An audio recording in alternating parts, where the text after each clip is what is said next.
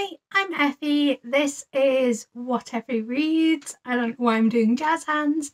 It's been a minute, but hopefully this is me back.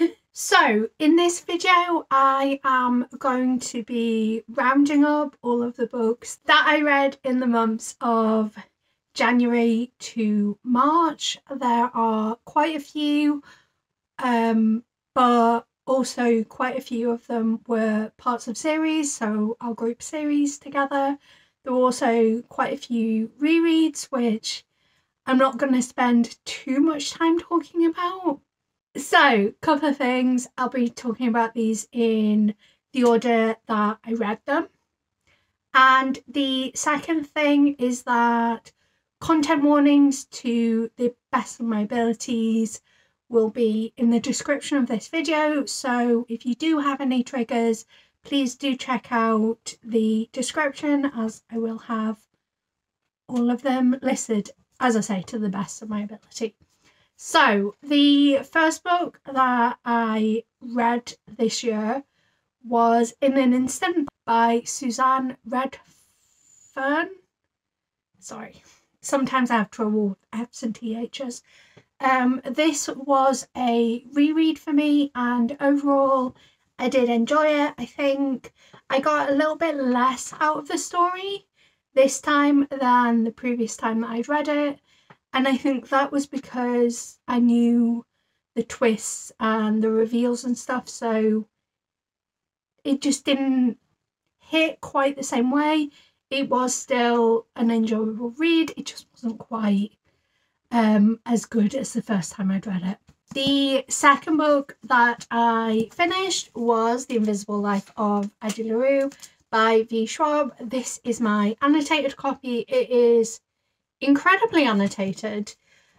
Um, again, so as you might be able to gather from the fact it's so annotated, this was also a reread. I will be completely honest. I started the year in a pretty bad place mentally, but I find real comfort in the character of Henry. So I kind of just wanted to like dive into his story, and I'm so happy that on reread it was as good as the first time I read it. I would say that I saw a lot of foreshadowing, but honestly, the first time I read it was quite a close reading, so I picked up on a lot of the foreshadowing things, but it was still an amazing time and I actually really enjoyed the audiobook. Although I will say that there's a bit at the end where there's some British characters and the British accent was actually painful. Um, I sometimes have a hard time, even though obviously British, um, kind of discerning when an accent's like fake or not. You know that thing where like you're watching a movie and you think the actor has like the worst British accent ever, and then you look it up and they are British. So I don't know if that's the case here, but to my ears, they the British accent felt really bad, but it's such a small part of the story. So, I, you know, it didn't really impact my overall enjoyment. The next book that I read was Her Body and Other Parties by Carmen Maria Machado. I listened to this as an audiobook, and I think possibly that's why I didn't really vibe with it.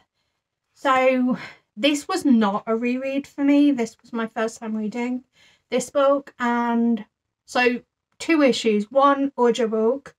Uh no, actually three issues. The fact it was an audiobook, the fact that I don't generally vibe with short stories, and the fact that I got confused and thought this was Machado's other book. And um kind of went in thinking, oh, it's one thing, and then realised, no, it's something completely different. I did like the fact that there were thematic similarities between some of the stories, and we got some callbacks, but it also made it very difficult for me to kind of find my footing in any of the stories. I also thought that I wanted a bit more from the individual stories. I think I like a little bit more closure to my short stories, which these didn't give me. Although I would be interested if on reread I have a very different experience because I have a clearer idea of what this story, or not story, what this book is. Um, I would say that this is the kind of book that fans of Growing Things and Other Stories by Paul Tremblay and Things We Do in the Dark by Kirsty Logan. I think there's some similarities and I could see people that enjoyed those short story collections also enjoying this short story collection. The next book I completed was The One by John Marrs. I'm not going to talk too much about that. And um, also The Minders by John Marrs and The Marriage Act by John Marrs because I do have a John Marrs video that should have gone up months ago, but obviously not been around. Um, but I do have a John Marrs video coming soon. What I will say is I enjoyed the one. Um, previously, I'd read um, The Passengers by John Marrs. I mean, I've read all of John Marrs's back catalogue now, but in terms of his speculative works, I'd only previously read The Passengers, so the one was quite different from the other John Marrs books that I had read. Um, I enjoyed it. It was quite fun to see the diversity, but then John Marrs does a really good job of creating quite a diverse book. You have racial diversity, you have class diversity, you have uh, diversity of sexuality. Like, he does create quite a well rounded cast of characters, so that wasn't um, a surprise, but overall quite enjoyed the story and kind of terrifying what comes out of his mind.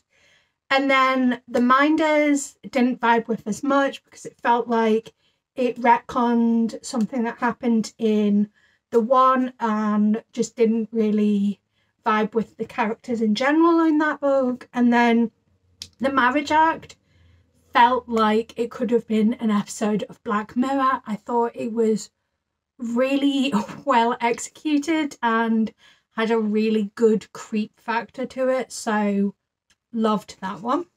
The next um, set of books that I read was I read some of the Wayward Children short stories that are available on the Tor website. I do consider those books for the sake of my tracking. So I read Juice Like Wounds, which was a reread for me. Read In Mercy Rain, and I also read Skeleton Song. In Mercy Rain and Skeleton Song were the first time of me reading those short stories. And then after that, I also read the newest Wayward Children book, which is Lost in the Moment and Found. Um, Juice Like Wounds, I absolutely love the Goblin Market, so I really enjoyed that one. In Mercy Rain, I'm just a bit tired of the moors. Like, it's a shame because when I first read a book set in the moors, um, in the Wayward Children series, um, I'm not going to go into too much detail in case you haven't experienced the moors before, but just to say that it seemed like 100% my vibe and then the more we keep returning to the moors, the less I enjoy it. I will say that I felt like I got something that I hadn't seen before in the story of In Mercy Rain, but I just enough with the moors and I feel like this is a world that McGuire enjoys returning to, but just enough, please.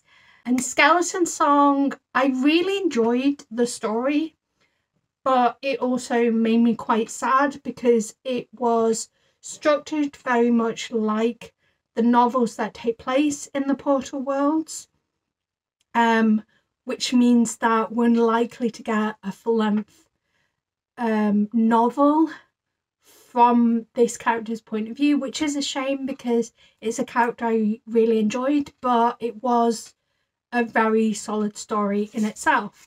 And then Lost in the Moment and Found, I will say that I really, really loved that it had an author's note, and I thought the author's note was written in a really sympathetic and compassionate way, and it set the tone for the book whilst also providing comfort. Just absolutely loved it. Overall, I got so much out of this story.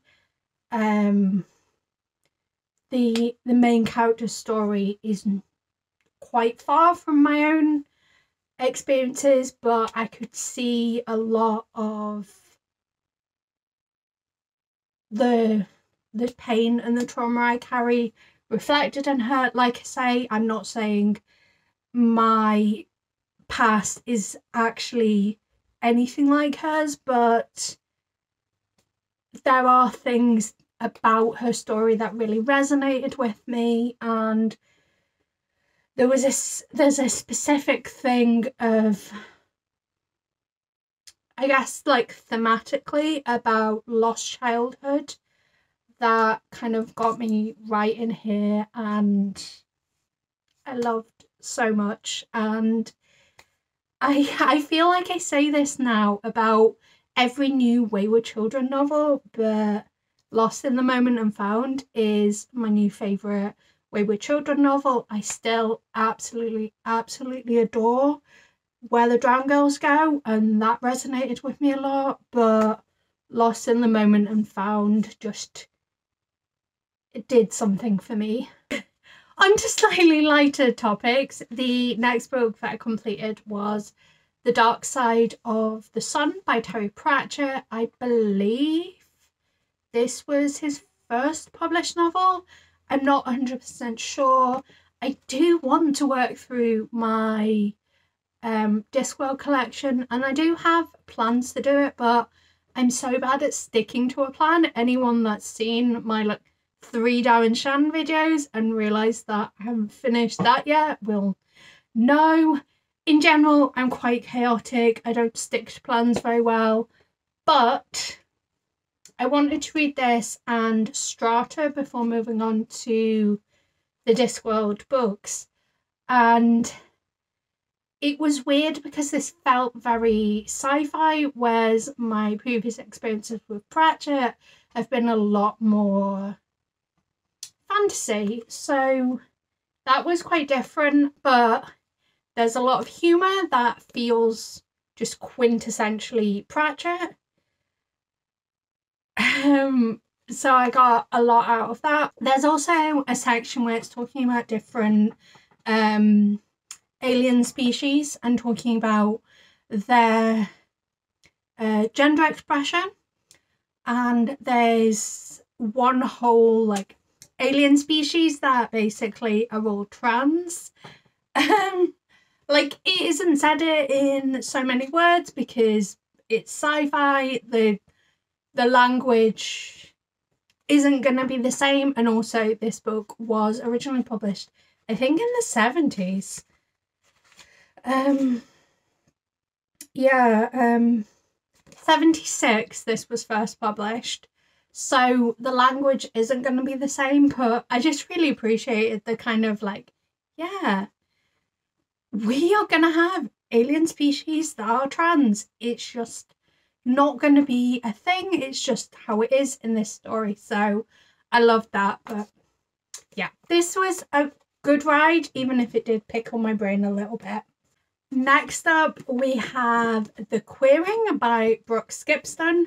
This follows a 70 year old woman who, for the past several years, has been writing queer fiction under the pen name of Brooke Skipstone, but now a local podcaster, like kind of like a podcaster, um, is threatening to out her. So she's decided that she's going to write one final story, and it's going to the story of what happened to the real Brooke Skipstone. There's a lot going on in the story, but I really enjoyed the way it all interconnected. I loved everything that it had to say, basically. It was absolutely beautiful, and I loved that we we're following a seven year old protagonist and she gets a love story. It's just, just so, so beautiful. it just made me really, really happy. And I'll definitely be reading more from this author in the future. Um, the author actually kindly sent me this copy. Like after I'd already read it, I wrote a view, review on NetGalley and I got an email from the author going, do you, do you want a physical copy? So very grateful to the author for that. And she also sent me an ebook edition of one of her other novels. Um, so I'm definitely going to be reading that as well. Just, I just had a really good time with this, you know? The next book that I read was the audiobook of Little Disasters by Sarah Vaughan, the same author as An Anatomy of Scandal. I saw that so much in bookstores when I was down the road in January. Um, and I thought nothing of it, then watched the Netflix adaptation and I was like, oh, I need more from this author. This was really well crafted. So I picked up the audiobook of Little Disasters, and I will say it wasn't quite me because a lot of it revolves around motherhood, parenting, that kind of thing, which just isn't me. But the way the book was actually crafted was so well done. It had a lot of twists that I didn't see coming. There was especially a really impactful one right at the end where you think they're just kind of wrapping up the story kind of thing and then you have one final twist and I was like, oh, that was savage. But overall, really good time. The next book that I read was Going Dark by Melissa De La Cruz. How to talk about this book. So I did not vibe with it, which is really sad, obviously. But this book feels like a retelling of a popular story, you know, slightly changed up. And because of that, I didn't enjoy the book because I was like, oh, it's this story. Um, another thing that didn't work for me was the fact that Chekhov's gun was really obvious to me. In fact, you you got it on page five, and immediately I was like, oh, okay, so this is how this is gonna go. But because I knew this thing, I was like, oh, okay, so when this thing happens, well, it can't be can't be this person because of this. Um, I realized that have I even said what any of these books are about? Sorry, uh, Going Dark is about a kind of famous YouTuber who goes missing after a trip to Italy with her boyfriend. And obviously, everyone is now looking at the boyfriend. It's about a lot more than that. And I would say that a comp title would be Monday's Not Coming, but it's a really hard one to talk about because the less you know about this story, the better, and I think the more impact it's going to have. I will say to give it its due, it is a YA novel, and it's very possible that as a 31, is that how old I am? I think I'm 31. As a 31 year old, I didn't get the same surprise element because I was able to pick up on more of the pop culture references and that potentially was my issue with this book. But I genuinely don't know. I'm I'm sorry I can't be more detailed about it. It's just one of these that if you know anything, it's it takes away the experience for you basically. The next uh book or books because it was a series that I read, oh my gosh, they're so heavy, was the new Camelot series. So these were rereads for me, so I'm not going to go into too much detail. But we've got American Queen, American Prince, American King, and then Sierra Simone's got a digital short available called Dear Ash, which that wasn't a reread for me. That was the first time I'd read it. So I'm going to put um, the sequels down because these really are quite heavy. So the New Camelot series is a very rough retelling of the legend of King Arthur. We follow Greer who meets, I don't know, like she has some history with the person who is the president of the United States. Reconnects, that's it. So Greer reconnects with the president of the United States.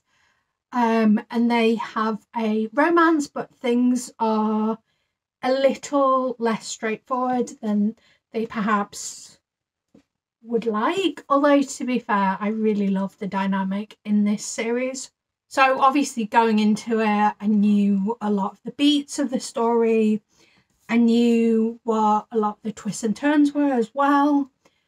But that didn't take anything away from my enjoyment with this series. I actually think I enjoyed it more being able to see what was coming because unlike the likes of The Invisible Life of Addie LaRue, where the first time I read that, I was reading it really closely. I was just kind of vibing the first time I read this series. I didn't pick up on hints and foreshadows, but I definitely did on reread and it made for a great experience. And like I say, there's a digital short now called Dear Ash, and it's a letter written between two characters and it just added a little bit more romance a little more depth and i loved it i loved it so much. The next book books whatever is also a series and also a reread. And it was ACOTAR yeah i reread the ACOTAR series. I think this was like my third or fourth time reading this series. But it was only oh gosh i'm gonna end up with a pile of books. Just in frame. Apologies. But it was only the second time that i'd read them physically in the past when i've reread them i've read them in audiobook form so it was quite different for me to go through and do a physical reread of them um I don't know. It's just one of those stories that at this point I know really well, so it's quite comforting to go back to.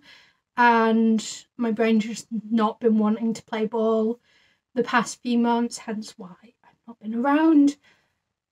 So there was just something comforting and junk food about reading them. They are not high literature by any stretch of the imagination, and the author does have her problems. Um, but I enjoy the world that is created in these books, and the characters are fun enough. Would I like more diversity in the stories? Very much. Do I think that is in the author's wheelhouse? All evidence points to the fact that that isn't. And that's fine. Oh, yeah, well, it's not fine, but I find diversity through the variety of books I read. So, yeah. But just just be aware that I mean, if you're not already aware, you're probably not someone that chooses to be aware, but just be aware that this author does have some problems. Um, the next book that I finished was All the Dangerous Things by Stacy Willingham. It's the story of a mother whose child went missing approximately a year ago, and she's constantly taking speaking gigs to try and keep the search going, keep interest in finding out what happened to her son. And she gets approached by a podcaster who's like, I want to help, etc., etc. And then she's kind of like doubting her herself and her memory.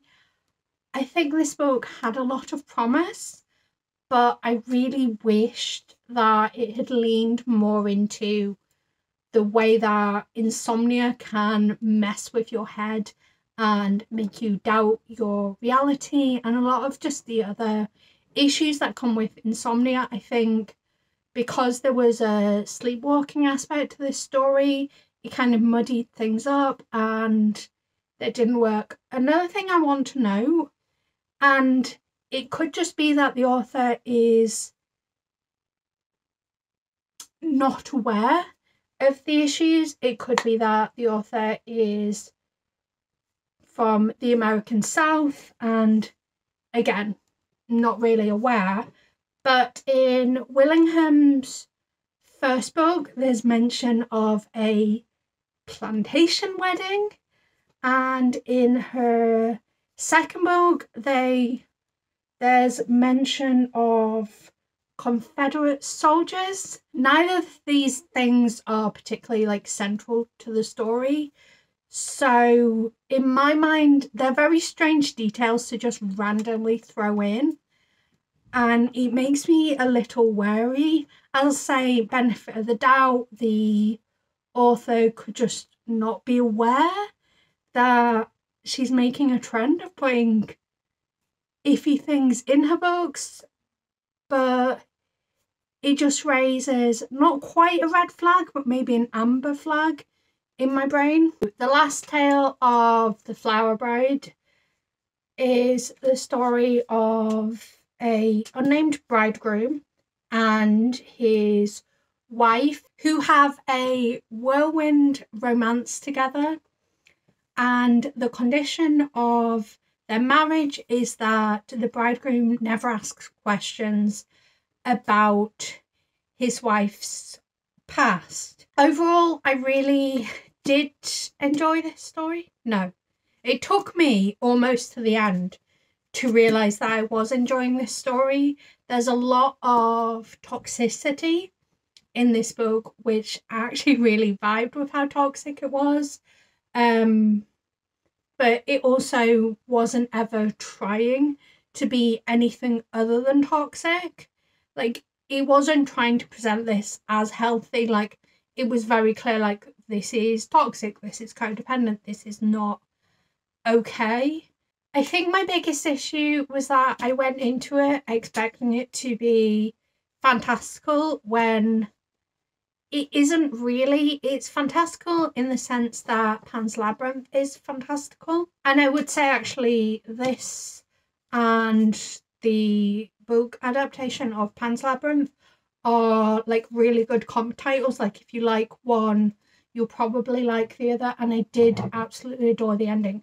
I will say that the twist, I'm not sure if it's meant to be a twist, but the um the twist of it, I guessed very, very early. And that did impact my enjoyment to an extent because I was going, okay, but when are we going to get confirmation? But overall, I actually quite enjoyed it. And I think on reread, I'll have more of a enjoyment throughout because I'll have a clear understanding of what's happening. There was one character that absolutely baffled me because they're referred to by two very different names. And it isn't until substantially later into the book where like it's a hundred percent confirmed that they are the same person. So it took me a lot of brain power to try and figure out what was going on there. The next books that we're going to be talking about are the Bidden series by Crystal Sirleck. So that's candidate for Sinful Reunion, Secret Desires, The First Candidate, Beyond Ruin, Unbidden Love, The Honeymoon, The Other Woman, Forbidden Halloween, Contested Heart, Palm Springs, and Fading Dusk. Okay, so this series is incomplete and I do not expect it to ever be completed. That's fine, authors do not owe you anything. However, going through a series, being told repeatedly that a specific book wraps up the story, knowing that that book exists in the world, and then that book, in fact, not wrapping up the story and also introducing new storylines for several side characters was incredibly frustrating and made me angry. The rough summary of the series is that a woman who is struggling with student debts finds out about a fancy exclusive escort service and then she finds a man who she falls madly in love with. These books are definitely not particularly well written and that's fine. Like I wasn't looking for high literature, well written, well well crafted. I wasn't even looking for proper spelling, grammar issues that an editor would have picked up. Like, I was vibing with them until I realised that this series would never be completed, which, as I say, authors don't owe you anything. That's fine. Um, so I didn't get a conclusion and the way that one of the characters was treated. I didn't enjoy. I didn't enjoy the toxicness like of one of the characters. Like I could probably make a whole video just ranting about this series. I will say that The Other Woman and Forbidden Halloween were pretty serviceable.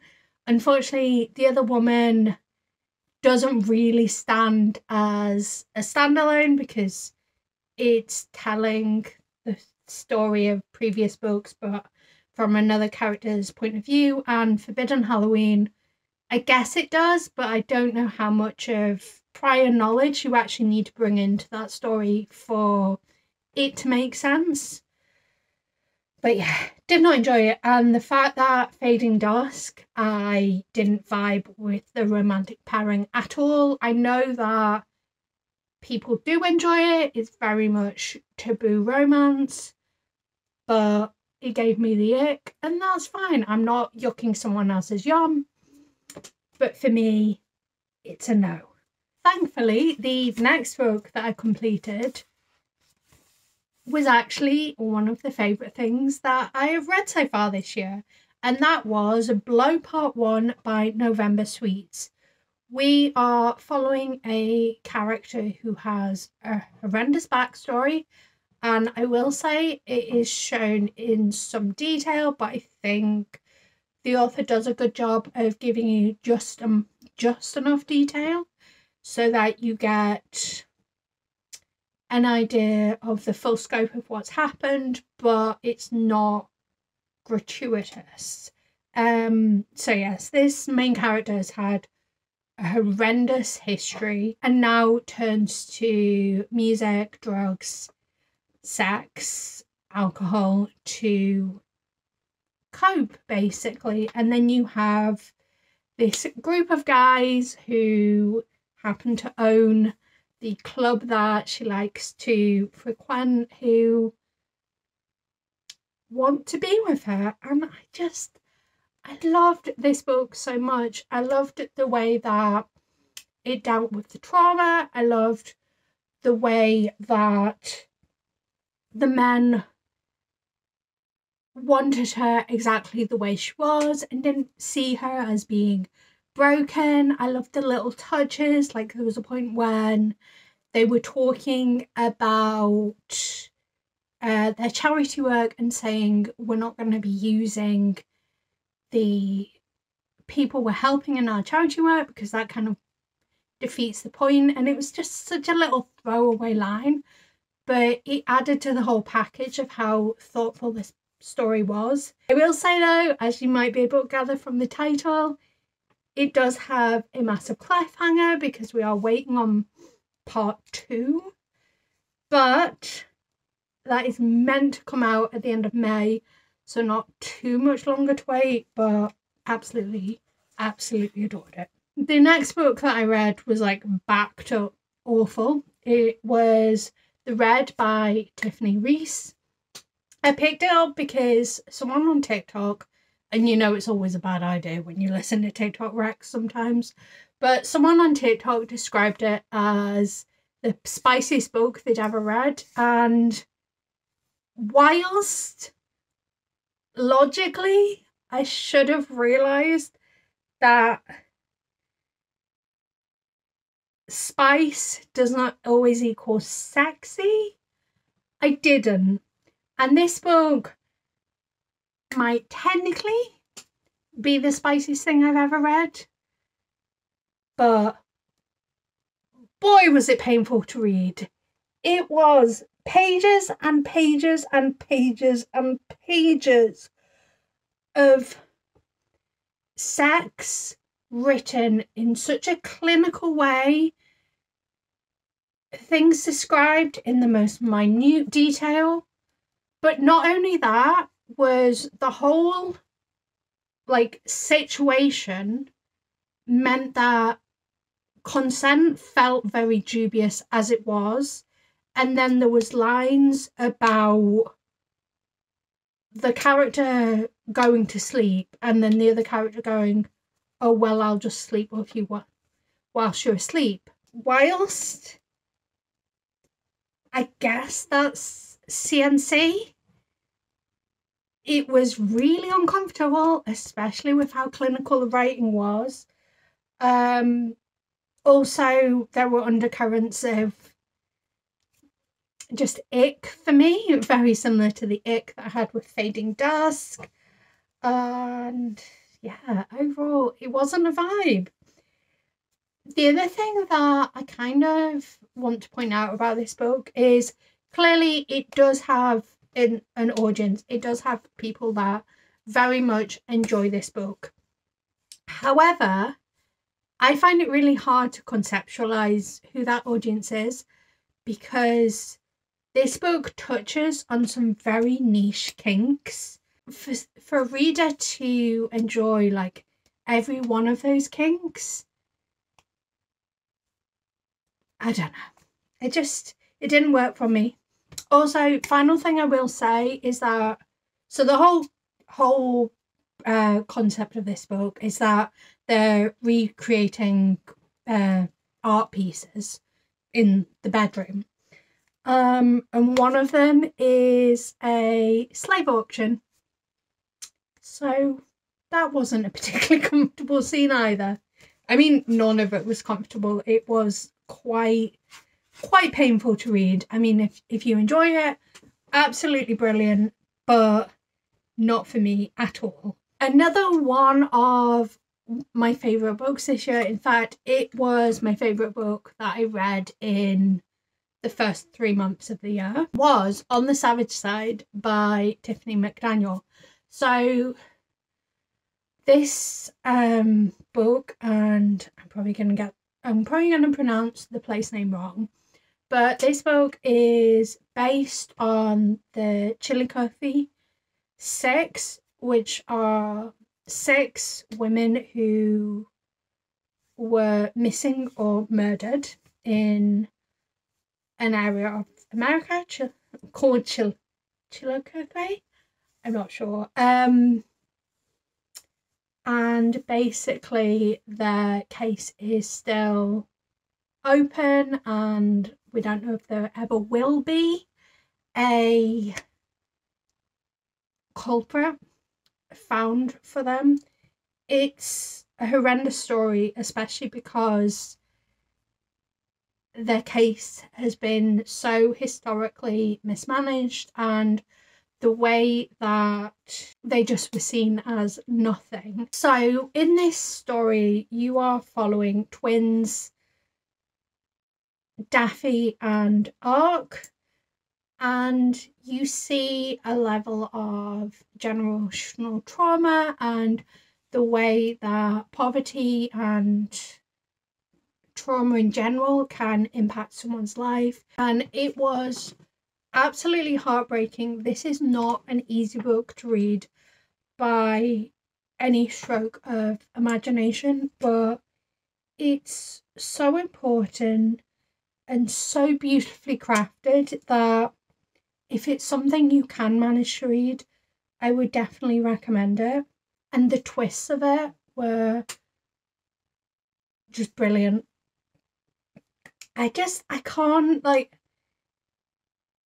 I can't really say what exactly worked so much about this book, but there's a lot of compassion, understanding, and beauty. And just generally, like Tiffany McDaniel has such a way of writing that leaves you feeling in awe. Um, I actually have a short where I kind of included a few of my favorite quotes from the book. So if you need further convincing, please do check out that short I just I loved it so much. And I'm like, I'm flipping through my reading journal to like get to my thoughts on the next book. And I have pages and pages of quotes because it's just that good. The next book that I finished, and it's the last physical book I've got on my pile, but it's Twisted Love by Ana Huang. I was pleasantly surprised by this book actually because I went in with pretty low expectations. I'm pretty sure this is the series where people say the series in general is really good, but give the first book a miss. It's not that great. And I actually, I really vibed with it.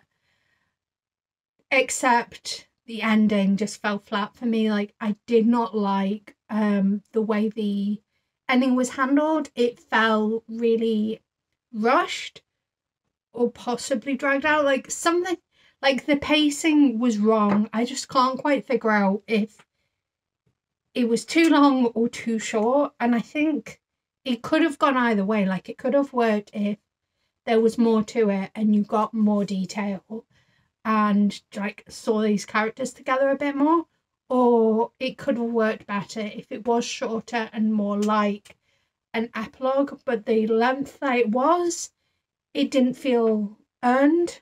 And I will say as well that I I hate third act breakups, but largely that's because it usually revolves around miscommunication, which I mean, this was a third act breakup that revolved around miscommunication, but it felt authentic to the characters.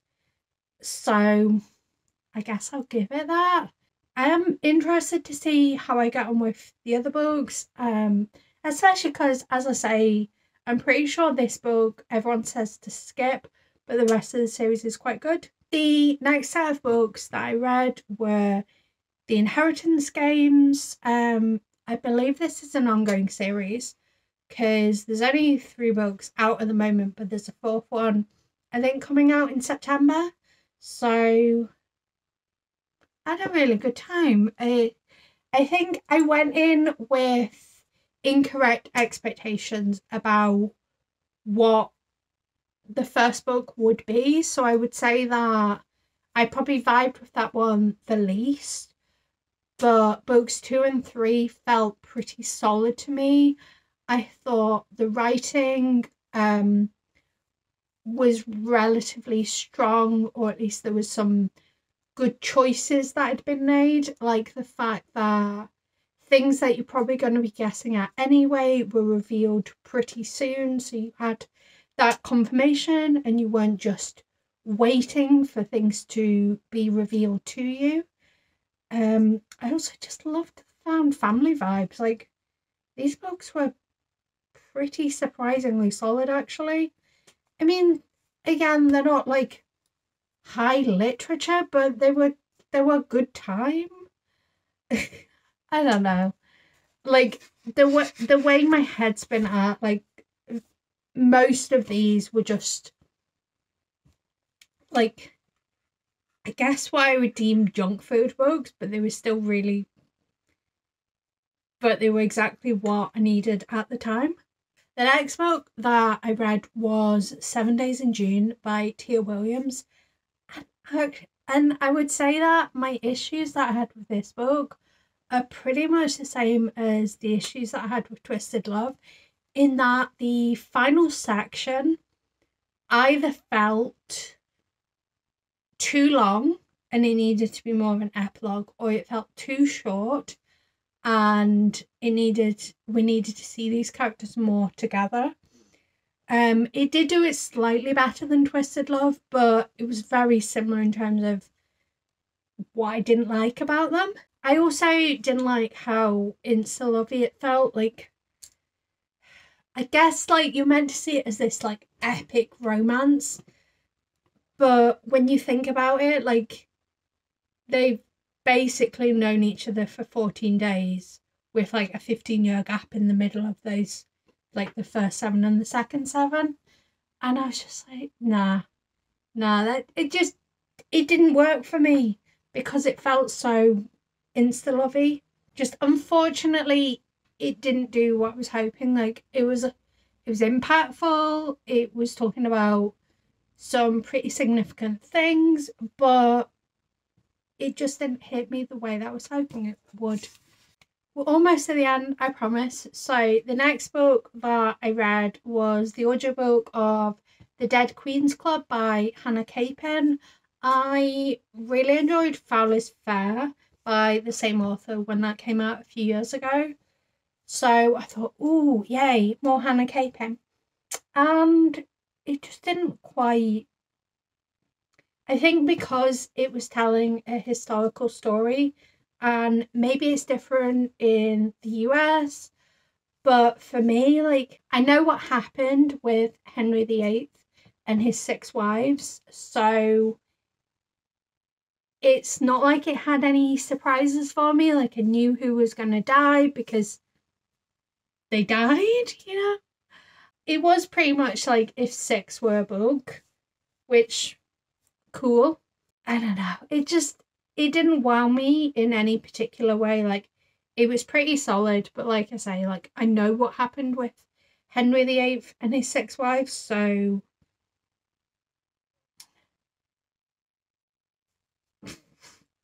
don't know. The next book that I read was 100% a hate read.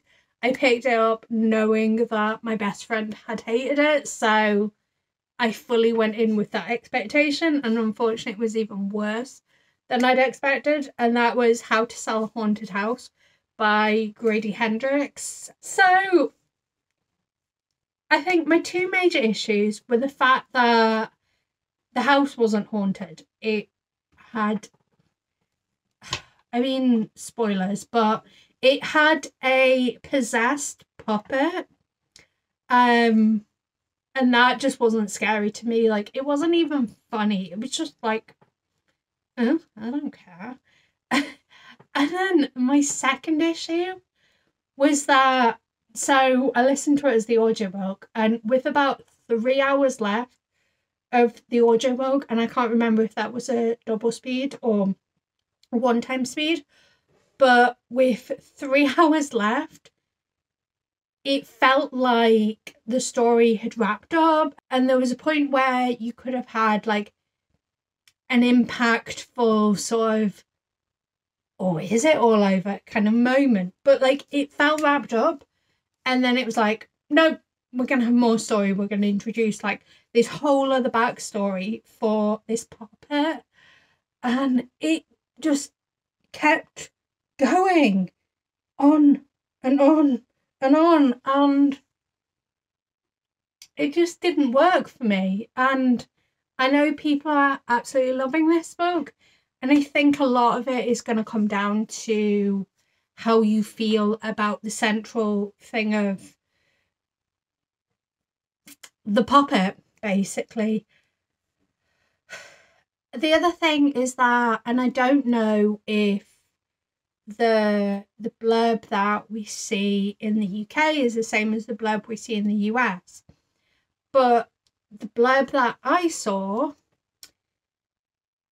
gave an impression of of a bit more of a thoughtful story where you're basically looking at generational trauma, the impact that parents can have on their children in the sense of trying to make their children into something that they feel like they've missed out on or just kind of living vicariously through them and sort of making them their puppet or whatever. And whilst I fully am on board with that being a metaphor and you know the fact that it has become a real possessed puppet in the book could be like taking that metaphor further. I just don't think this book delivered on the promise of what the blurb seemed to suggest. And that was a shame for me, and it just didn't work for me, obviously. The next two books that I read were both rereads, and they were Daisy Jones and the Six by Taylor Jenkins Reid and the final revival of Opal and Nev by Dawnie Walton. I picked up Daisy Jones and the Six because I'd watched the TV show. Um, I just wanted to go back and experience the book, especially because there's things that happen that I was like, oh, did that happen in the book? And I wanted more basically because I enjoyed the TV show. Um, but what I will say is that having watched the TV show and seeing the way that we had characters being given agency and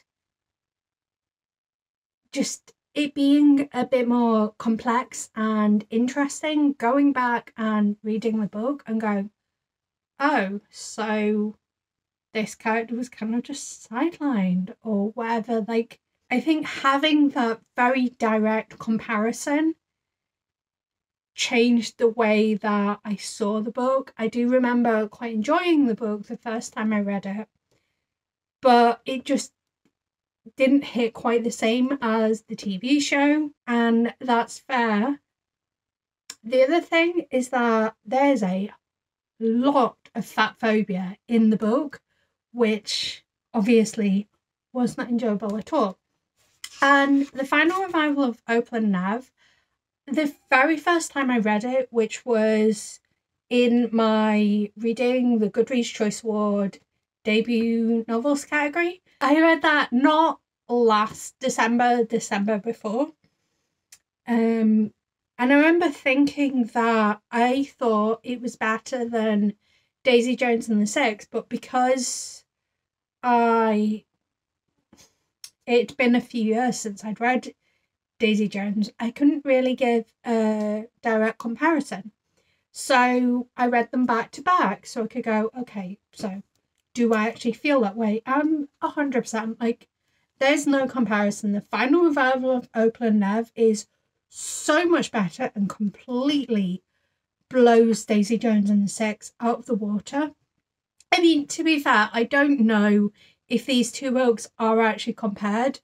I mean, there's there's a few similarities to it, set in the seventies, following musicians, but like there's some other stuff, but spoilers. But the story of Daisy Jones and the Six is kind of a romance, whereas Opal and Nev is looking at performative activism, racism, sexism, and just it's just so much more complex and interesting. Also, Bahni Turpin does the voice of Opal in the audiobook.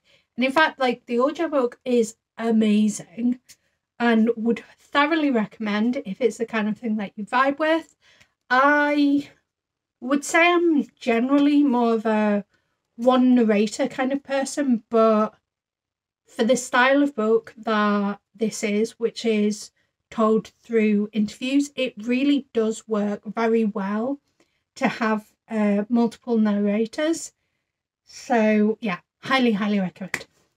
And we're finally on to the last books that I read in the months of January to March. So I guess like even though my brain has been playing up, I read quite a lot of books. And the last books that I read were Shadow and Bone. Um, I just read the core trilogy. I mean, I, I have read like the other books now, but we're talking about up to the end of March. So I read Shadow and Bone, Siege and Storm, and Ruin and Rising. And what I would say is actually I was pleasantly surprised because I feel like everyone says skip the Shadow and Bone series, go on to Six of Crows. But you know, like I don't like the central romance, but that sounds like everyone feels that way. Um, but aside from that, like they were really surprisingly good. And Storm was rough. Like in my reading journal, I basically it was like, okay, this thing happened and this thing happened, and then I was like, oh yeah, that's the whole plot of the book, but I've condensed it to a paragraph. When the book's like 500 pages or something, it's really long for what it is. But I found that Shadow and Bone and Ruin and Rising were actually pretty enjoyable. I mean, there was no way I could see a lot of the things that happened. I thought they had reasonable emotional impact. Like, I'm a bit of a sucker for, I think it's called The Price of War, and I don't feel like Bardugo gives us enough of The Price of War, if that's what it's called. But if you kind of like ignore that, like they're very well constructed and you have so many characters that you enjoy and you want all the best for. And I fully understand why people ship the Darkling and Alina. Although I was really confused because like I've heard that Bardugo really doesn't understand or like that shipping. And then in book one, it's like one of the core romances, and I'm like, why, why? But yeah, it, it makes sense now, I think. But like, I like the character of the Darkling. I can see why Ben Barnes talks about him as being quite complex. I mean, it also helps that I went into this series having previously read uh, Demon in the Wood. I don't remember too much of it, but I do remember like enough to come from a place of possibly a bit more understanding. Like the Darkling is awful, don't get me wrong, but like he's complex as well. I mean, I'm talking these books up, and it's much like a lot of the books in this video where they're kind of like they're easy, they're not gonna be like the most amazing things you ever read, but they're really easy to get through. They're enjoyable. They're a fun time. And at the end of the day, like reading's my hobby, so I'm gonna read what makes me feel good. And if my brain is choosing not to behave, even more so, I'm gonna read things that are easy to read, you know? Does that make sense? I don't know. I would love to hear about, I don't know, tell me your best and your worst book that you read in the first three months of the year in the comments down below. And I'm more than happy to chat about any of the books I've talked about in this video. Don't forget that content warnings for all of the books to the best of my ability will be in the description. If you want more of my face, I don't know why you would, but there'll be a video recommended that YouTube thinks you're gonna enjoy up here and press the subscribe button here. Love you. Bye.